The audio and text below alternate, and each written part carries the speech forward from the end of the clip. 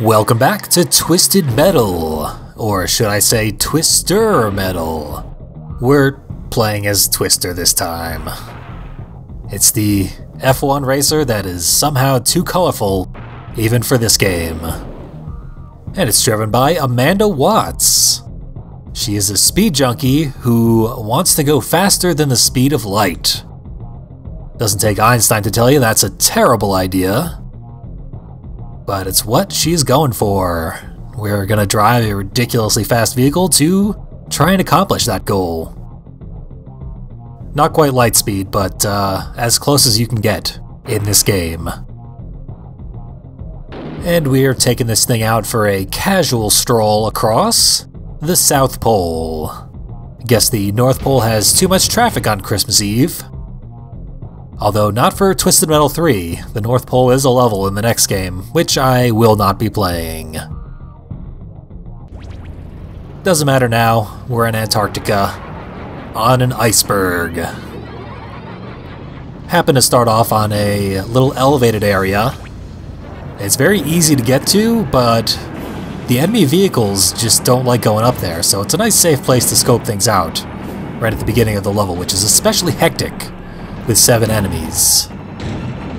These little towers are our only real breakable here, but it's not the only thing that will be destroyed in this level, that's for sure. So when we set foot on that part of the glacier, it starts to flash a little strobe effect on the ground, which you will hopefully intuit means get the hell off of that part of the glacier, because it's about to collapse into the ocean. If you go with it, you die and the level is permanently reduced in size. This is sort of a gimmick level, coincidentally, our car has sort of a gimmick special. It's clearly Twister's namesake. It somehow spins around on one of its corners and creates a little twister. You can use that to suck enemies up. It's rated 4 stars out of 5, but the damage potential isn't really that high compared to other four and five star specials. And even ignoring the damage, it's got a lot of weird properties that make it only situationally useful at best. Plus, we are capped at only carrying as many as three at a time, so a lot of them go to waste while you're waiting for the right situation to use them. I burned through most of my health pool playing with that special, so I had to go for the full health refill of the level which is really hard to get to, and it costs you a little bit of health when you slam into the icicle on the other side, which as far as I know is unavoidable. Got most of my health back now though, so dump my payload of ricochets into this chasm, where they'll be hardest to avoid, and then start trying to get rid of this special. But the other property of the special is that while you are swinging enemies around, your car will frequently bump into theirs, and the constant micro collisions will deal you a bunch of damage. So I should use the shield before using my special, as I did with Grasshopper. But I have a better use for the energy bar. That is using Minion Special instead of my own. It's the only energy attack in the game that requires using the machine gun as part of the inputs. So you would never discover it accidentally, and it's certainly not listed in the uh, instruction manual. But when you do learn how to use it, it allows you to trade about 90% of your energy bar for a single use of Minion Special. When you're a car like this that occasionally just needs the ability to punch another car in the face, it's worth the trade, I think. But it does mean that I will very rarely be using the shield in a low armor vehicle with a special that hurts itself. The way I play Twister, she dies real fast.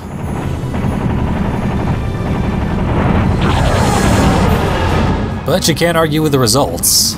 Minion Special is doing a lot of work. And it fires from like a very centralized location when you use it as a small vehicle instead of minion. So usually all four missiles, including the freeze shot, all hit their target.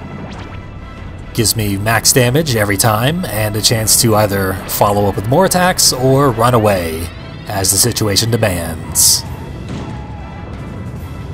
I could theoretically freeze someone on a part of the glacier that's about to collapse, kill them that way, but uh, I certainly don't pull it off in this video, nor did I pull it off in any of my practice attempts. I was going for the full life refill there, hasn't respawned yet, and that part of the glacier is gone.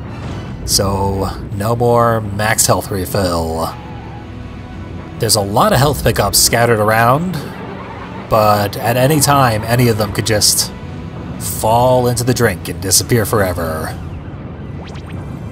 Luckily, I still am able to get the most difficult one to collect, not only is it hard to get up to that specific spot, but also uh, this vehicle is too short to actually grab it if you drive underneath the pickup.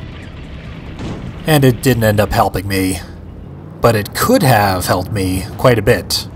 Is that broken ramp? If you get up there and just stop, you can wait there while the rest of the level falls apart. And the enemies can't get up to you. Most of them will die from plummeting into the ocean. It's one of the many ways you can get a cheap, easy, boring win. And right now, Warthog is stuck on Mr. Grimm's corpse. Just can't get around that little dead motorcycle. Made it easy to help him join the Grim Reaper in death. The combined enemy health is still way higher than mine, though and I don't have too much I can do about it. My energy bar is still refilling, so I'm gonna have to rely on my own special. Which worked out surprisingly well. You can use it to ram enemy cars into nearby walls if you stand next to them. It increases the odds that the vehicle will also bump into your car, but it dramatically increases the damage that they take from your special. And you can also grab multiple enemies in your special. That has pretty impressive results. That of course requires the compliance of multiple enemies. And when you do kill someone with this special, it keeps twisting the husk of their vehicle for additional damage to yourself. The last remnant of Sweet Tooth's final napalm cone finally expired, which leaves just one enemy each of us with a tiny little bit of health left, as the level continues to fall apart. Outlaw was hiding in that little crevice, so I completely wasted my minion special.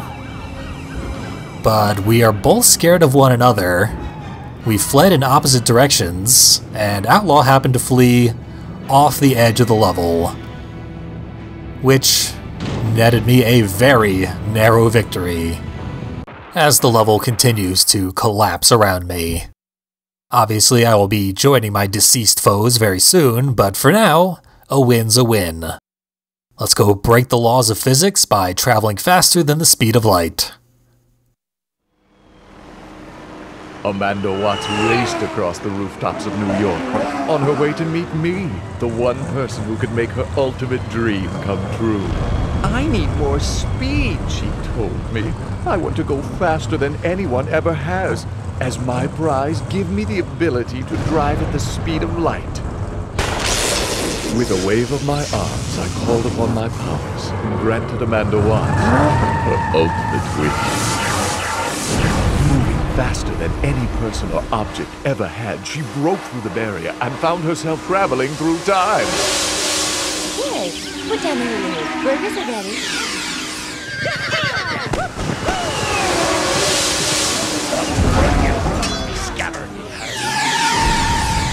Amanda Watts, the world's first time traveler, had gotten her wish.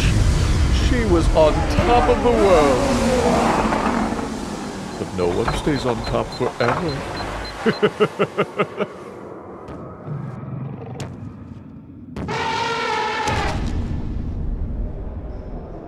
Millions of years later, the only trace of Amanda Watts and her twisted metal victory would be the fossilized helmet on display in the National Museum of History.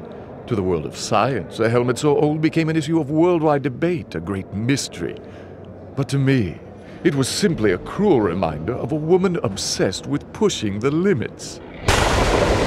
I am Calypso, and I thank you for playing Twisted Metal.